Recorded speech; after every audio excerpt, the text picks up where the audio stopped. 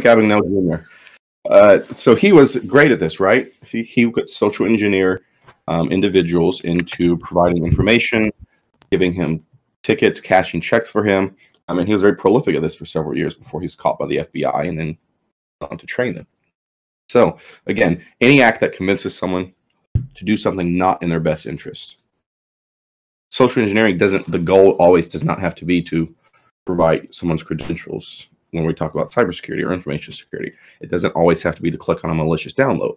Um, we, we do plenty of engagements where we will call someone up, email them back and forth, ask a question, and the piece of information we're asking for seems like a harmless question. We go to the next person, ask or email about the next piece of information, and by the time we've talked to five people, we have the whole picture of what we need.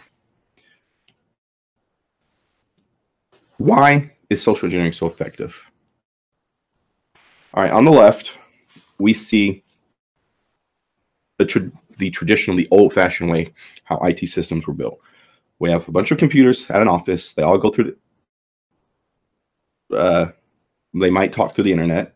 Um, these could be remote computers. If they're at the office, the servers are most likely on-prem back in back in the day. File servers, databases, etc. Uh, if we had a remote user, they had a VPN, and they connected into the office. Now, think about the environment now. The edge has moved, as many uh, many people, many articles discuss the edge moving. And we're using so many tools, Dropbox, Office 365, um, Citrix, uh, SharePoint, Google Drive, so many different platforms that we're using. And at each point, unless you're using single sign-on or a zero trust type setup where we have one point of authentication, what happens when the person is ready to use an application. If you think about it, they log in, right? So people have kind of become conditioned to log into things all the time. It's we do it all the time. We do it a hundred times a day. You log into Office, you log into Dropbox, you log into this application, and it's become second nature to people. Another reason is in there was some research done by some psychology organizations in 2017, and 70% of workers back then felt they were overworked. Now, how many of you felt like you were overworked in 2020, right? You're working home. Uh, if you're like me, you're keeping a couple children at home while you're working, and it's been hectic. And employees, users are trying to rush through the tasks that they have to do to get everything done by five o'clock so they can go home. So they don't have to work late. Uh, they can make the bosses happy, keep their job, whatever the reason. Everyone's in a rush, rush, rush trying to get tasks done. And rush, unfortunately, makes makes it easier for someone like me, a social engineer, um, to social engineer you and get what I want out of you.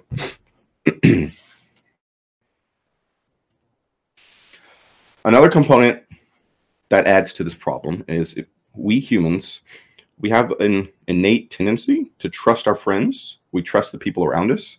Um, for the most part, we as humans are not very untrusting people. Um, we get to know someone, we trust them.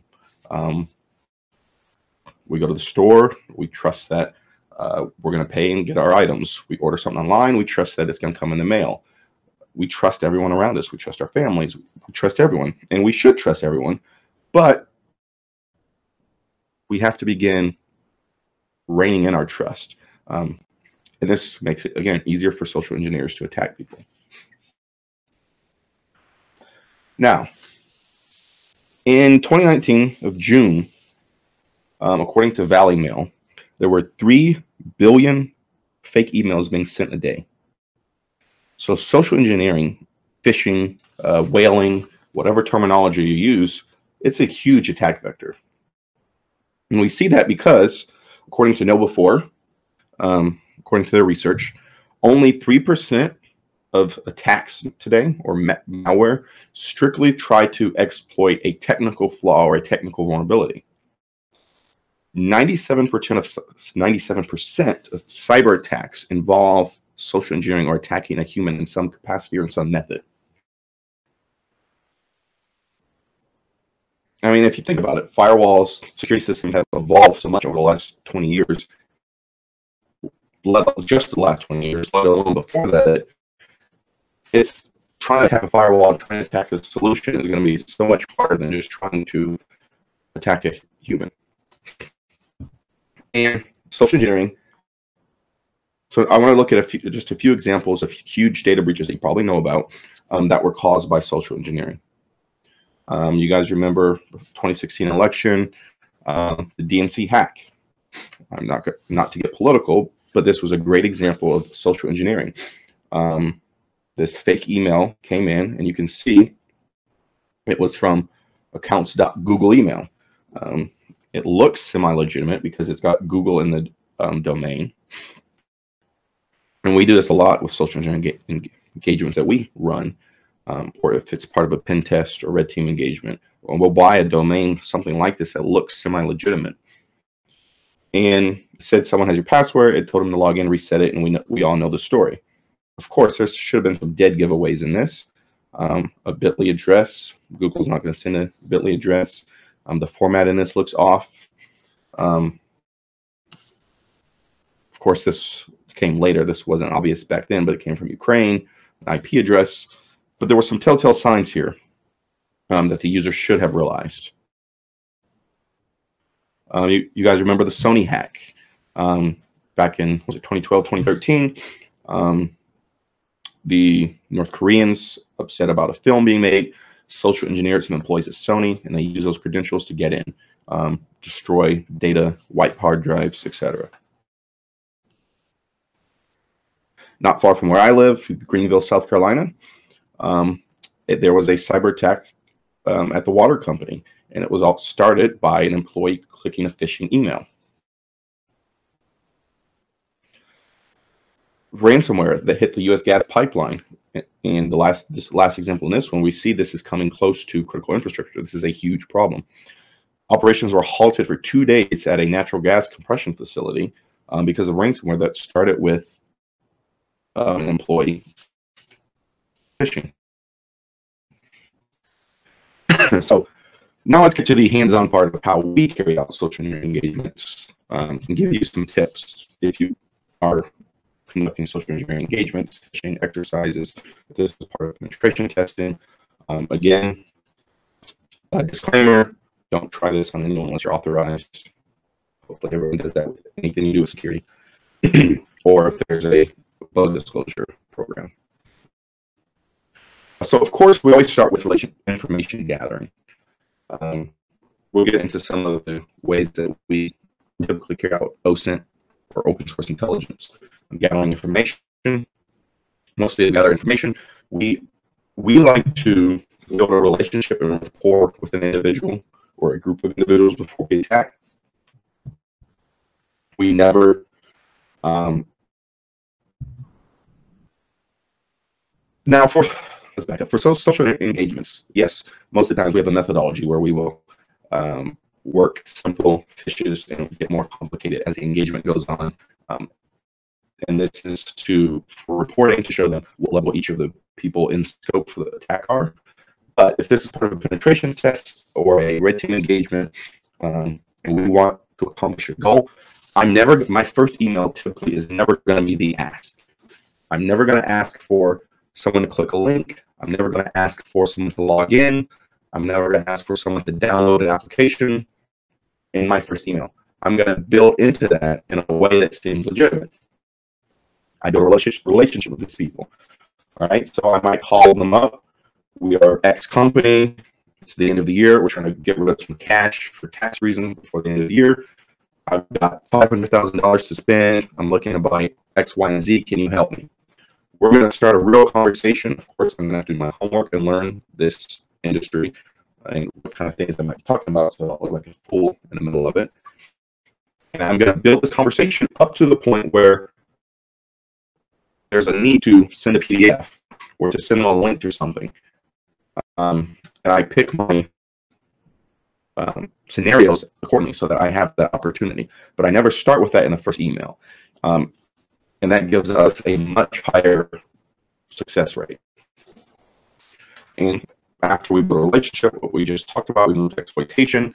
and then we execute on what we have gained, the knowledge we've gained, the credentials we've gained, um, the foothold we've gained through malware, C2 framework, or something of that nature.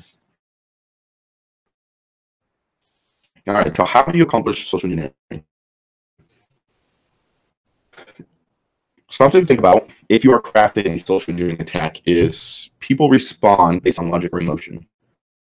Um, Logan, I'm sorry, I have 30 minutes. Yes, sir. Up to uh, 4, 5.30. It's okay if you uh, run over a little bit, and then uh, we'll let you do questions. So. All right. All right. So, for the most part, people respond based on logic or emotion. If someone responds logically, they're going to stop, think about it. If they respond out of emotion, they're not going to think about it. And that's my goal in social engineering is to get someone to respond out of an emotion. And as such as possible. I don't want it totally obvious. Email, hackers have stolen $1.5 million out of your bank account. Sure, that could cause a lot of emotion, but that's totally not legit sounding. I want to add emotion in a subtle, legitimate sounding way. And there's a few emotions that work well with social engineering. First of all, fear. Fear of something happening. Excitement. Um, one social engineering engagement we've done, one social engineering scenario rather, um, that we've done successfully at multiple companies is if they have a dev team or another team will will say at end of the year, um, you guys have done a great job this year. You've helped our company grow. We want to ask you a few questions how we can improve your department. Fill out this questionnaire, and we're going to be giving away iPhones or tablets to employees who fill it out. It causes excitement. People want to fill it out. Um, they go to this fake form. They log in. Authority. Um, we all know that people respond to authority, and we've been trained not to question authority. Um, other cultures, this may not work. Um, for an example, the Israeli culture um, is very much that you don't take authority at uh, for what they say. You challenge, you ask questions.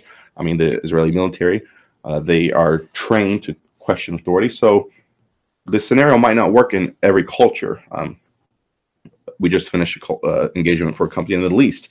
We had to pull um, different emotions than we would do on a company here in the U.S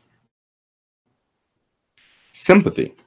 Um, if I'm doing reconnaissance on targets and I find that someone um, donates to a certain charity or they support a certain charity or effort or something of that nature, and they are very sympathetic to, that might be a good scenario for me.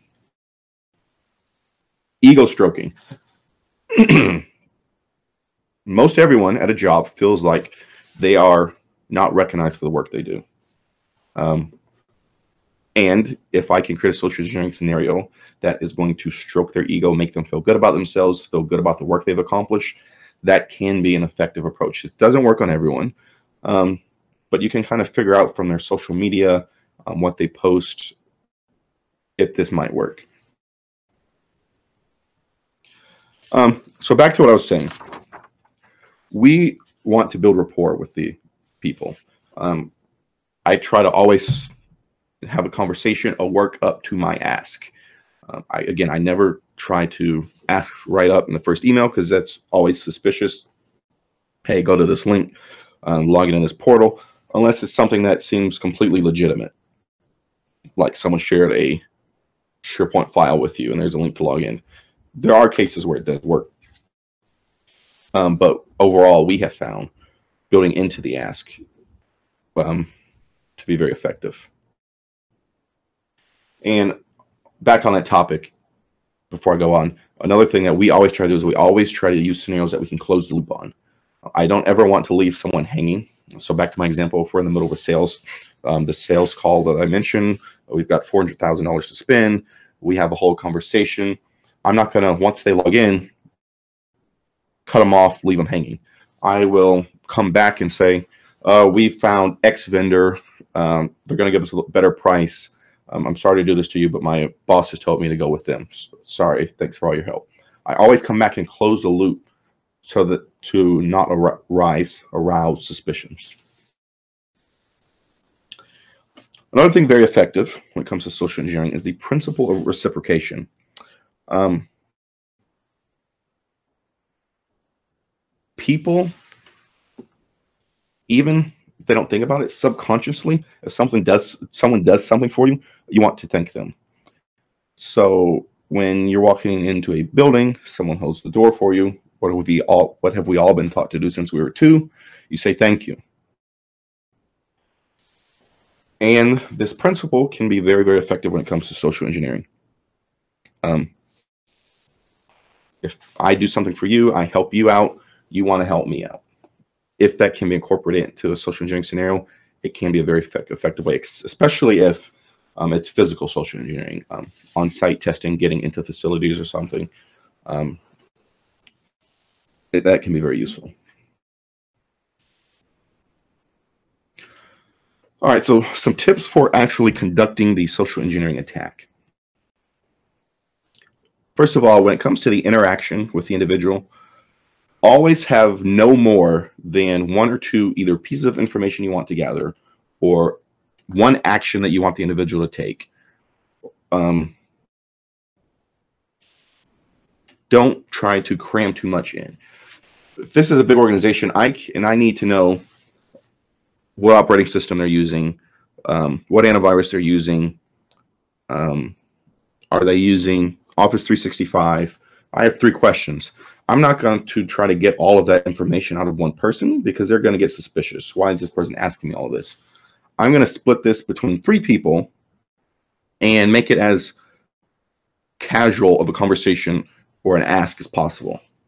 Um, so, for an example, we had an engagement last year. Um, pretty big facility. Um, we wanted to know um, what antivirus they. So I called up an individual, claimed to spoof my number, of course, claimed to be from IT, saying that we were having some uh, suspicious, interesting alerts um, being sent from the antivirus on their protection on their computer. Uh, we wanted to make sure that their protection was right. And so I asked them, uh, go to your toolbar, tell me what color your icon is. We're trying to make sure you're on the right version because something is looking funny about this.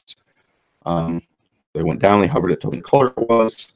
Um, asked them to right click, give me the number off of it to help us figure this out because it was seeming really odd. Uh, the person did not want to. They thought it was suspicious. I told them I totally understood. Um, that, that was good for them not to want to give that information out over the phone. I'd send someone down to their desk to talk to them and that put them at ease and they gave me the inf information that i wanted i couldn't have actually sent someone there because i wasn't on site but keep that minimum keep that how much you want out off of someone to a minimum and try to think ahead of what their questions might be what their objections might be run through a few conversation scenarios in your head especially if this is going to be over the phone um, and you're going to have to do this off the cuff um, get your scenario down just think about it a little bit so that you're ready. Um, so, for example, we had a, another social engineering engagement. This is actually the same company. Um, and there was a vice president. Um, we had phished him, got his credentials, and we were trying to get around his two-factor authentication. Um, so I called him up, told him they were using Office 365, told him that we were doing some updates on the. I threw in some jargon so that he would not likely understand. Uh, we we're working on some, some updates on the single sign-on server our updates were, had crashed the server. Uh, we were trying to, in the process of trying to um, revert those updates, um, and people were getting locked out of their accounts because this was single sign-on. I wanted to not let him get locked out. I just need to send him a code, and he could read it to me, and I could put it in the system. Um, so of course, he was a little wary at first. He wanted to know why my number looked a little funny on his phone. I was spoofing my number. Um, of course, I already thought about this, told him I was on vacation, but because of how bad this was, I was having to work remotely to help them. Um, now he felt bad for me. He felt bad that I'm on vacation having to work on this, so he wants to help me. Um, so he read, read me the code, and what I had actually done is I logged into his account, and it sent him the code that he just read me. So when you're looking for gathering information, search engines is the place to start. Google. You can find so much information using Google. Um, if you're familiar with Google Dorks, um, if not, go Google it. Google it. Uh, look up Google Dorks, D-O-R-K-S. There's a complete database of them. Um, they give you all kinds of things you can look up. For example, if I'm looking for email addresses, I'll put in quotes.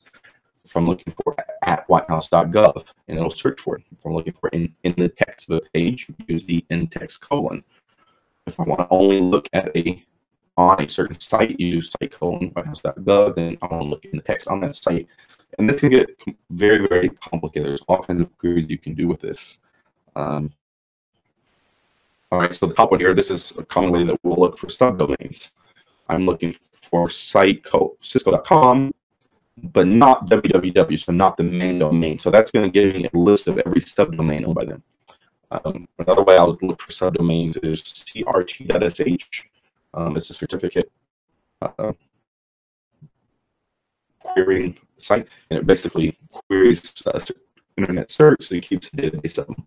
So I'll put in a domain, and it'll give me all the subdomains that have certificates created for them. Um, another way, again, on site cisco.com, I can look for PDFs that have confidential in the title or password. Um, you can look for Google uh, documents, um, Excel files, on and on and on. So look up Google Dorks. They're very, very useful for doing open source intelligence.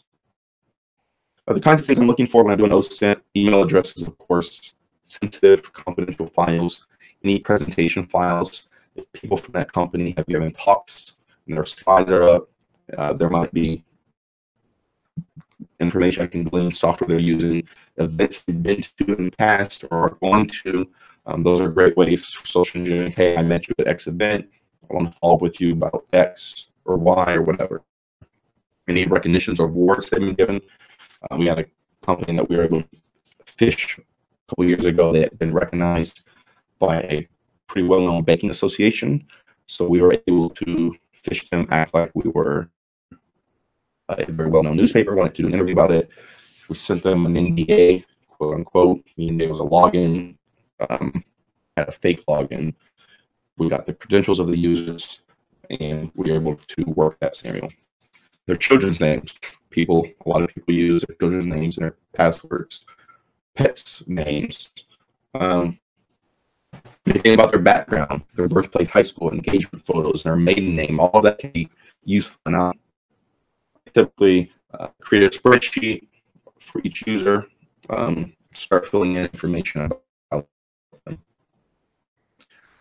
Another place to go look, look is the Wayback Machine. You can look at a website, look at people who have worked at a company in the past, they've made announcements they've had in the past that are no longer there. Google News. Um, if I want, if I'm looking for a specific company, I'll look for information about them in the news, um, and that can be used against them. Email addresses. Of course, I showed you how to just use Google to find email addresses. Another good tool for is the Harvester. Um, it comes with Kali by default. Um, you can find email addresses. LinkedIn um, depends on their privacy settings, but if you use this um, um, this URL right here um, is a way to verify if you think email is legitimate. And again, this works if they've used their company email to sign up for LinkedIn. The MX Toolbox. Um, there's several services like this, but we, I always try to figure out, okay, what mail provider are they using or what security filter system are they using that helps me gauge um, how difficult this is going to be. Um, a lot of, there's several methods for sending phishing emails. A lot of times we will actually buy a legitimate domain. We'll buy a legitimate Office 365 account um, from one of many vendors and we'll use that to send email. If the people are using Office 365, my emails, unless I do something super spammy, are pretty much guaranteed to get into their inbox past spam filters. Um, of course, I'm not. I don't add attachments with malware in those. I always link out to those. Um, I always like to figure out um, what email filter they're using, um, SPF, how it's set up, etc. Social media. Everyone, many people post their lives on social media. That's always a great place to go to recon looking for things like this. All right, so this post person was excited about their new job, posted this on Instagram. What can I get out of this? I know they're using Mac OS. Um, I, I'm going to try to zoom in, see if I see passwords, what's written on those stickies. Um, I'm looking at the people in the background. What kind of computers are they using? Can I see faces? Are these people connected? Do I know who works with who? Um, any of that kind of information. Or this one. Um, we know these people like the San Francisco 49ers. I can look at their computer now. I know what operating system they're using, or back at this point. I know they like donuts. I know some of the applications they're using, Word, PowerPoint, um, and whatever else I can figure out. I'm going to go look at the shortcuts on the desktop. What are they using? What do they say? And this is all information that I put into my file or my dossier on the individuals at the company. All right, look at this one, this Instagram photo. Seems harmless, but I can gain a lot of information about this. I know what operating system they're using. I see there's no printer on the desk, so they're likely using a central printer. So I could come up with this scenario of scanner at a central printer and it has sent you a file. Um, I see they're using a VoIP phone. Maybe I can email them a quote unquote um, voicemail message. There's lots of information that can be gleaned out of seemingly innocent pictures.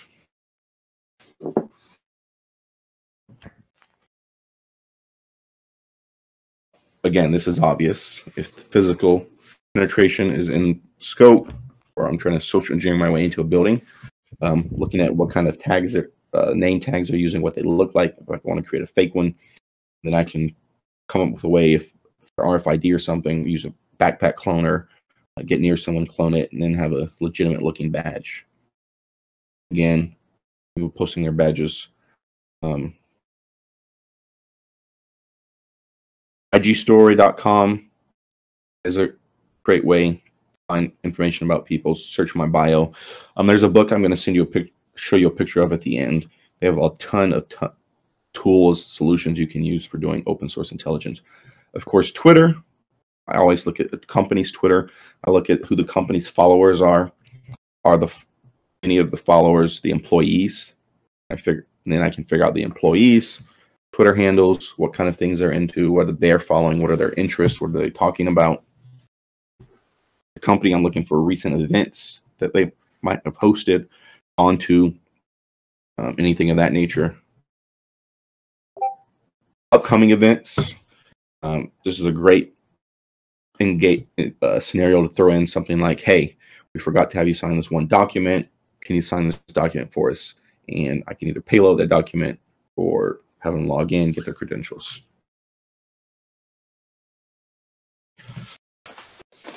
Um, here's a quick search.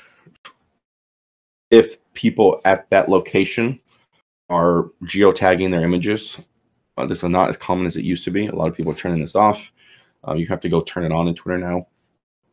But if images are geotagged, you can go to Google Earth, get the coordinates of a specific building, and drop those coordinates into this query here, add a distance you want to look away from that building, and now you'll have all of the images, tweets, etc.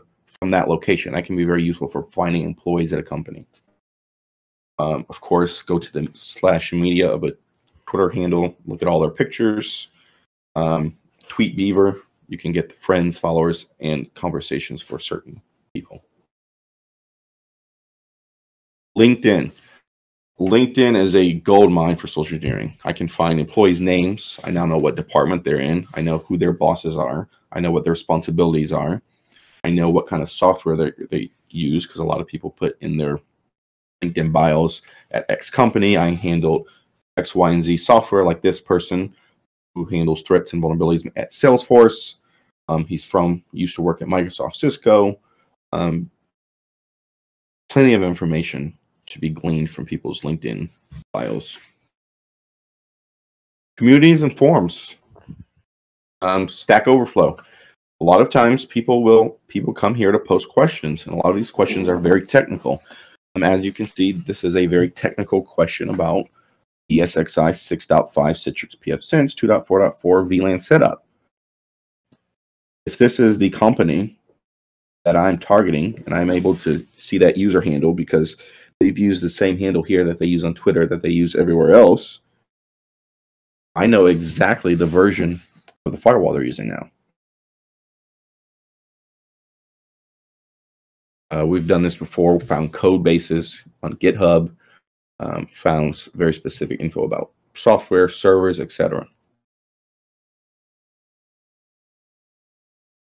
But one thing I want to point out, as you can see here, they're talking about QNAP, a Dell 710, um, Sophos, uh, things that they've tried. So this, I know some of the software they're using. I know specifically what brand servers are using.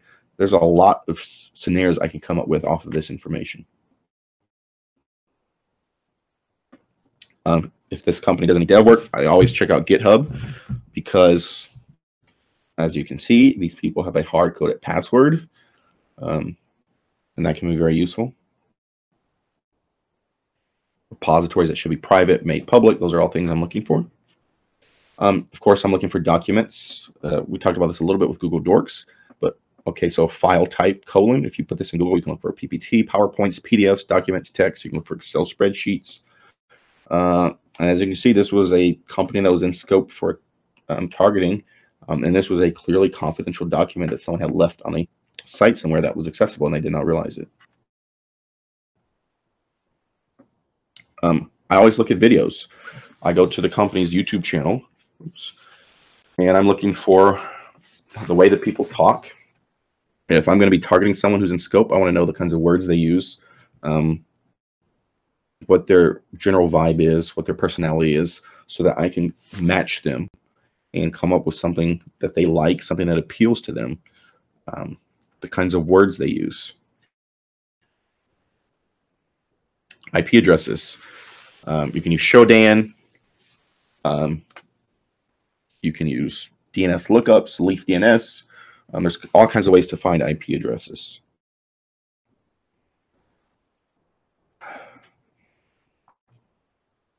So one of, a common way that we get credentials, it'll set up fake portals. So this is a fake email about a 401k. If it's year end, we'll come up with something like this. Um, we were given a bonus profit share. Uh, this works good at the end of the year. Uh, so this is the real 401k site. Um, this is our fake site that we created and they log in, we get their credentials. Uh, there's many, many ways to go about how you handle this, how you set this up. Um, over last year, we tried uh, one method that was worked well for us. Spin up a VPS, virtual private server, put a bunch of WordPress sites on it, and it's pretty easy just to set up a one page. Um, we'll use a contact form with a password field to grab credentials and send it to us when they're captured. Um, there's different ways to do it. You can set these up on Azure, use an Azure fronting. Um, you can set these up with HTTP proxies um, to help get around multi-factor authentication um, so that when the person logs in, it, recycles the um, session cookies or keys. Uh, there's many different ways to go about it. A fake Office 365 portal that we've set up, a fake LinkedIn portal that we've set up, a fake OWA portal we've set up, um, and these are just a few of the types of fake portals that we have used. It all depends on this company, what they're using, and how we can be as close to. I want my social engineering scenario to be like everyday life to these people. I'm asking you to do something you do 100 times a day. It doesn't seem out of the ordinary to you. Um, I might ask them to install software or an app. Uh, that gets a little more difficult to do. I'm going to have to do a lot of recon, figuring out what antivirus they're using, what applications they have installed. If I can call someone up, have a few conversations, figuring that out so that I have them install a new piece of software. Maybe it's as simple as having them install TeamViewer Quick Support to give me a remote session onto their computer, um, or actually install some malicious payload that I've sent. Um, quick story about one of these types of attacks. We actually got a security engineer at a company to install malware for us. Uh, we sent him a payloaded PDF. He downloaded it, ran the script in it. Um, shortly thereafter, he figured out what he had done, but he had tweeted out he had failed a cybersecurity certification um, the week before our engagement. So that was perfect for me. I bought a domain very similar to where he had um, taken the test, sent him an email. Um, we were very, very sorry. We realized that between X date and Y date, everyone who took the test were given the wrong questions. We're going to give you a free retake. We're very, very sorry for the inconvenience this has caused. Um, we just need you to fill out a few questions so we can get this rolling for you. And that was a payloaded PDF that gave us a backdoor to his computer. Um, he downloaded it, ran the script. We got a backdoor until I guess someone else in security what happened. Um, and it was cut off. Malicious documents, like I just talked about that Samuel. Um, all right, so I got ahead of myself. So this was the email we sent to that individual about the OSCP they had taken. Um, they downloaded that malicious form, and that attack was successful. So we have social engineering is an effective way. Um, when we run all of our engagements we run over the past few years, our average click rate is 40 to 50 percent. Pretty much, we get 40 to 50 percent of the people we test to actually click, and typically between 15 and 25 percent actually provide us credentials. Um, over 2020, that has gone up quite a bit. People working at home, busy, not paying attention. This is a big problem. How do we change it? I like to, of course, security awareness training is key. We have to train our employees and we have to keep it in front of them. Something that's out of sight, it's out of mind. We've all heard the expression. Once a year or annual security awareness training doesn't work. Um, it needs to be all the time, at least once a month. We need to make the training short. We don't want to bore them. We need to make it applicable. Uh, something that actually helps them, that they can understand, not too much jargon. All right, does Joe Blow in accounting need to know what billing is? No. He just needs to know that someone is trying to get his credentials. They're trying to get him to download something. They don't need to know all the technical jargon. Let's make it as easy to understand, as applicable as possible. And then I recommend that people take a sort of a step back and do what I call an OSINT self-assessment. So look at your social media accounts. Go look at your YouTube channel um, if you have one. Look at any your online presence. Take a step back and look at this and see, okay, what is posted about me? What is known about me? Um, so like that scenario I just talked about, it was known that he had failed a test. This should have been part of his self-assessment. This is posted about me. This can be used against me now. Um, an attacker could potentially try to target me with this information because it's public. So make go through all your social media accounts, train your the employees to do this, and assess what is publicly known about them, and expect an attacker to try to use that information against you. Finally, always verify. Never trust, always verify. Um, if you train employees to verify, um, don't punish them if this takes longer. Use an out-of-band verification. If the request came in form of an email, call up the individual. Don't use the phone number in the um, signature, of course. Go to their website, look up the number, go to your directory, look up the number you know that this person works at, dial their extension, and verify it. If they're on the phone with you, send them an email. Hey, that's the worst thing I can hear. If I'm on the phone with someone and they tell me, all right, I want to be sure this is legit, I'm just going to send you an email to your company email address. And then once you tell me what that email says, what can go on. That's the last thing I want to hear because I'm not going to get that email. Never trust, always verify. Another big key, in my opinion, is if it causes any kind of emotion, period, any emotion, that is fear, excitement, anxiety, pressure, as in from authority, compassion, it pulls on your compassion strings, pride, ego stroking, any kind of emotion, period. Stop, do something else for five minutes, and come back and read that again. When that emotion is worn off, you're clear headed, you're thinking logically, your employees are going to be much less likely to fall for social engineering because it's most likely not real if it causes any kind of emotion. There are a few cases where it's legit. Um, if you're looking for tips for open source intelligence, this is a great book. Um, I recommend you buy it. If this is your thing or something you're planning to do, Open Source Intelligence Techniques by uh, Michael Bazzell. It's a great book, tons and tons of valuable information. And if you trust me, that is the QR code you can use to get the slides.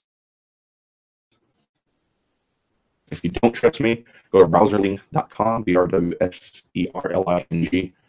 Um, put in the, the link it's going to take you to, and you can verify it that way on someone else's remote computer. That was a great ending. I have to say, wow. I hope that's not malware. wow, I have to say, after uh, hearing all of that, I, I, I first want to thank you, but second of all, I think I think we should all reflect on and review our social media to see what can be you know weaponized against us. And the the one example was Stack Overflow that impressed me. So thank you so much for that uh, presentation. Oh, absolutely, my pleasure. Um, if anybody has any questions, uh, I think we yeah please drop your questions in the Q and A or Tech Talk chat, uh, and I will also pull up the flag. So uh, I'll take care of that.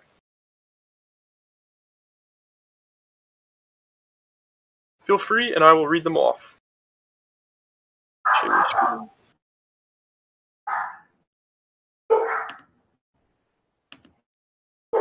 Okay.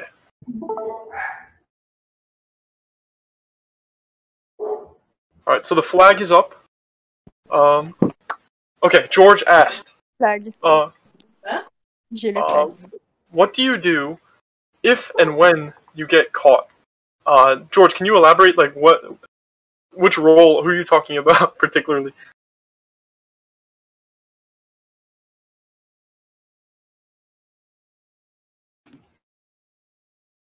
There's a link to those slides. I just put them in the chat if anyone's interested.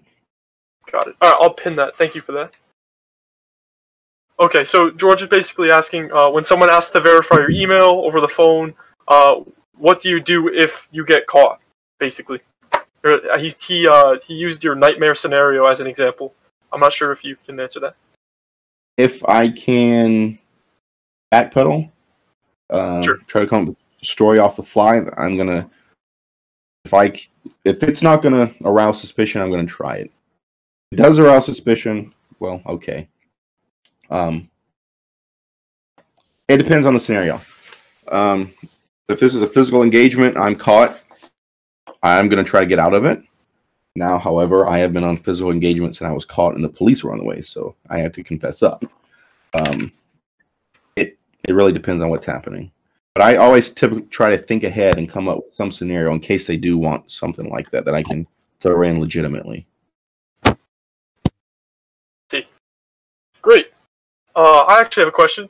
What's Sure. your favorite um, in the past from experience? What what has been your favorite, I guess, social engineering hack to that you've maybe performed throughout your work? If if you can share that, I'm not sure if you can. Favorite or most successful? Uh, both. Well, let's hear both. Um, my favorite is always bypassing MFA. That's just fun. Um, so we had an engagement in November, and this is probably one of my favorite. So the engagement was actually over the Thanksgiving holiday, which was perfect for me.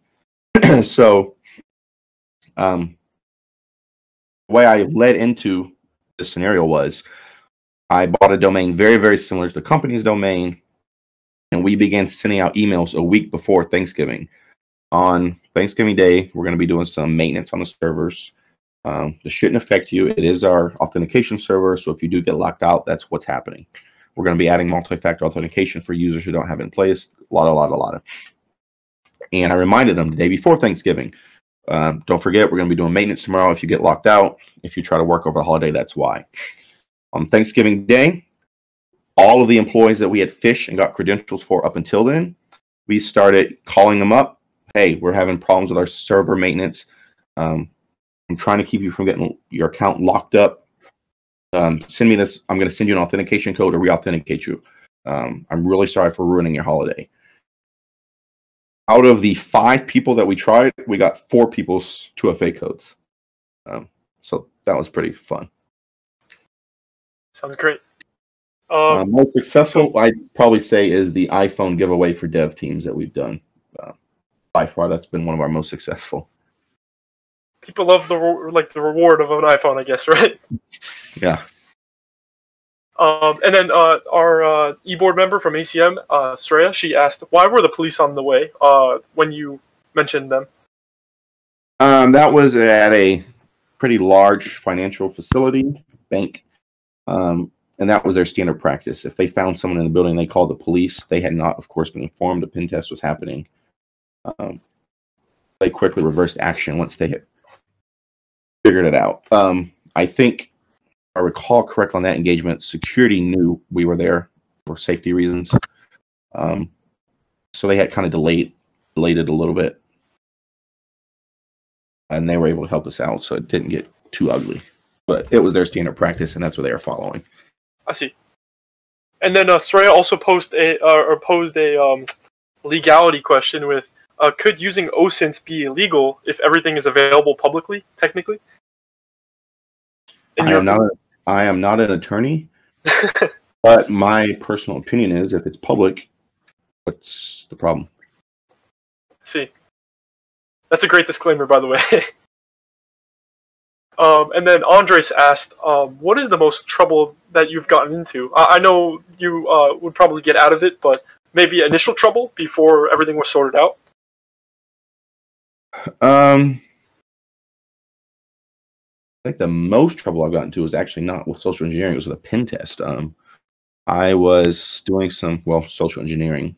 I, I was in this was an internal pen test. Uh, The, the scenario was I was looking like an employee working at a desk, um, and I was actually hacking them, and I was using uh, Ettercap to do some DNS poisoning um, to send people to my fake login. I was only trying to target a certain department who used a certain portal subdomain of the company to do all their work. And I accidentally put asterisk.domain.com. So everyone in the company was getting um, DNS poisoned by me. Um, so they had to blow my cover, explain to the entire IT team who I was and what I was doing. Uh, we had a pretty heated meeting in the conference department room, and I had to explain my attack. There's quite a few unhappy network engineers who had to go uh, do map table things. Great. Uh, um, well, I'm glad it got sorted out. I hope. Um, Cody asked, uh, "How can you break into the field? I guess of social engineering and OSINT." Um, practice. Um, practice talking to people. Um, and every day, see if you can ask someone some questions, get information out of them without being suspicious. Um, get some of your friends and family and ask them to agree that over the next three months, I'm trying to learn social engineering. I send you phishing emails. Do I have your permission? Um, and you can go through the whole process, setting up fake portals, finding finding out the applications they're using, test your family and friends. Seems like it's definitely worth it with the profitability in the industry. So definitely consider it if you uh, are interested in social engineering, Cody. Um, so we only have uh, three more questions. up. Uh, Sure. Sreya asked, uh, "What are your thoughts on uh, quote unquote once something is on the internet, it's there forever?" That's pretty true. Um, I like we talked about with the Wayback Archive, Twitter archives, all of those things. If you don't want it public, you shouldn't post it online because once it's online, it is there. Someone has that information. forever, right? Yeah. And then uh, Andres questioned if you have if your organization has any internship opportunities. Um, unfortunately, we do not. Um, If it ever comes up, just let us know. and We'll advertise. Great. Okay. And our last question is, as a follow-up to the legality uh, question, where is the line between using social engineering tech techniques on publicly available information, such as in search engines, uh, and breaching someone's privacy? So I guess asking about what where's the fine line with that. that usually has to do with what's in scope. Um, we work to create a scope and permissions document for each engagement we do, and we clearly define X types of um, scenarios are out of scope. Anything impersonating law enforcement maybe is out of scope. Um, anything um, health that might be out of scope. Uh, and we'll, for each um, target or engagement we do, we we have a scope document. What types of scenarios are in scope? What types are out of scope? Um, anything about uh, sex, um, anything of that nature is typically out of scope. Um, relationships or anything like that typically is out of scope. See. Okay. Um, so I think that's all the time we have. But uh, William, thank you again for uh, giving this very interesting uh, talk. I definitely am going to try to secure my social media, and I suggest the same for all of my peers here. So uh, have a wonderful day, and uh, thank you to all of our participants as well for uh, taking the time to listen to William.